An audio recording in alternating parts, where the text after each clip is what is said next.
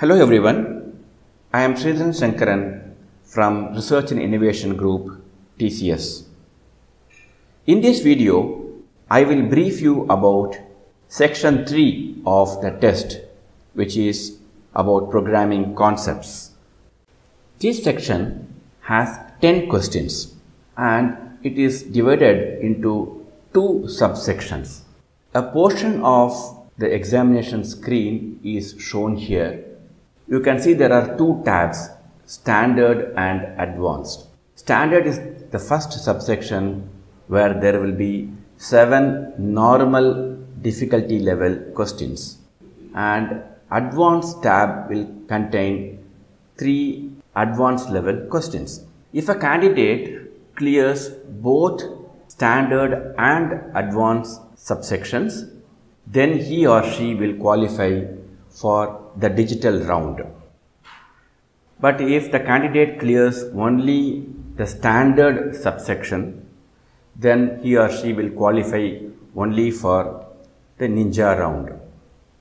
This is subject to the candidate clearing the other three sections, which are English, quantitative aptitude and coding sections. The questions are of two types, multiple choice questions and fill up the blank type questions. Each subsection will have a mixture of fill up the blank type questions and multiple choice questions. Multiple choice questions carry negative marks if you answer it wrong. For the fill up the blank type questions, there are no negative marks. Moving on to the types of questions, uh, both fill up the blanks and multiple choice questions broadly can be classified under some 7 or 8 types. For example, you might be given a C code or a pseudocode um, and you will be asked to identify what exactly that piece of code does. Maybe it is doing some string operation, maybe it's uh, uh, trying to find out an missing element in a series or maybe it's doing some sorting and so on. Or you might be given a code and you'll be asked to identify where exactly an error is or there can be some conceptual questions related to programming, uh, structured versus unstructured programming, uh, object oriented versus procedural uh, language, and so on. And uh, there can be some elementary algorithm based questions uh, about uh, popular sorting and searching algorithms. there can be some basic data structure based questions. Um, and there also can be some questions uh, based on C language. And there can be some questions that test your understanding of what compilation is, what linking is, and the role of operating system at a fundamental level. These are some indicative types of questions. Moving on to the indicative set of topics, let us start with uh, the set of seven questions that are of medium difficulty, which are part of uh, subsection 1. Uh, in data structures, we will cover uh, array, stack, queue, and list, singly linked list and doubly linked list. And algorithms, the basic searching and sorting algorithms. And in programming concepts, uh, what's iteration, what is recursion, procedural language versus object oriented. And some C language questions uh, will be there, um, like topics like call by value, call by reference, the various types of uh, data, the data types, basic and derived ones, uh, the storage class like your static and auto and so on. Uh, what's the difference between scope and visibility? Some basics of pointers and some basic uh, header files that are frequently used.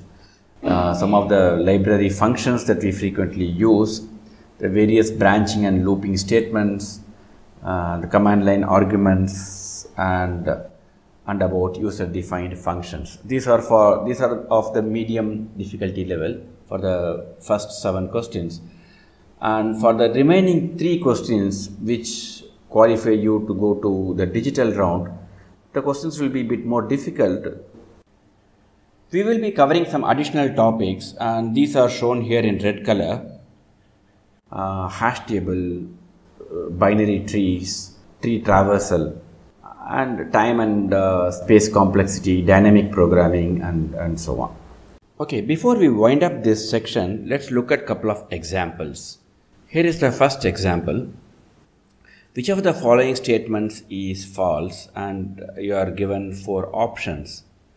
Well, looking at it, we can say that the first one, linear search requires a sorted list is false because as we know, linear search takes uh, all the elements one at a time in an iterative way and then uh, it compares with the target value.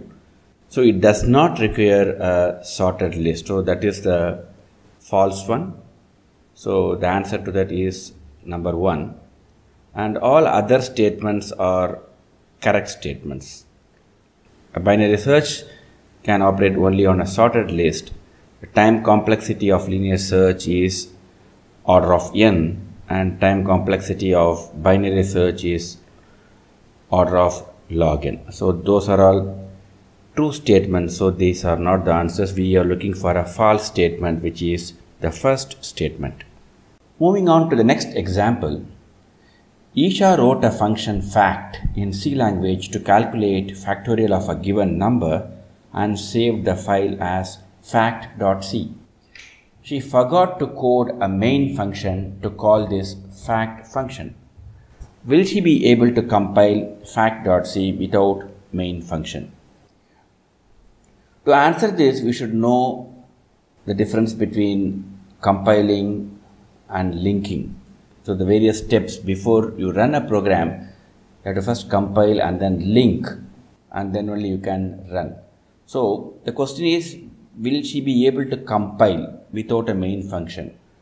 To run a program, you need a main function.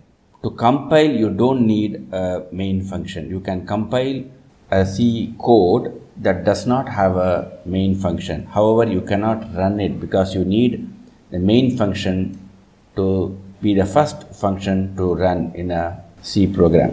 That is not available here. So, uh, the answer to this question is yes, she will be able to compile this program, but she will not be able to run it. With this, we end section 3 and I will see you all again in section 4. Bye for now.